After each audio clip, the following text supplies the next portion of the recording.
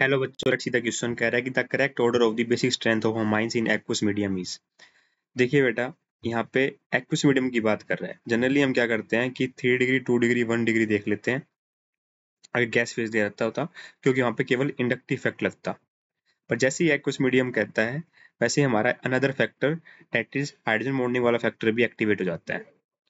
ठीक है?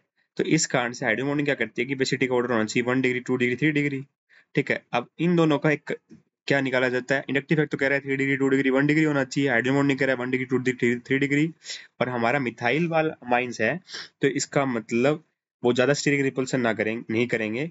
ठीक है तो अच्छी खासी हाइड्रोमोनिंग शो कर सकते हैं। तो इनका क्या निकाला जाता है बेटा? एक आउटकम निकलता है इन दोनों को फैक्टर को रखते हुए, वो होता है टू डिग्री वन डिग्री और थ्री डिग्री। वहीं अगर ये मिथाइलामाइन की जगह इथाइल अमाइन होता एल्काइल ग्रुप की चैन लेंथ बढ़ जाती तो टू थ्री वन हो जाता। अब क्या है? टू वन थ्री तो option number D perfectly correct हो जाएगा। I hope you got the answer thank you so much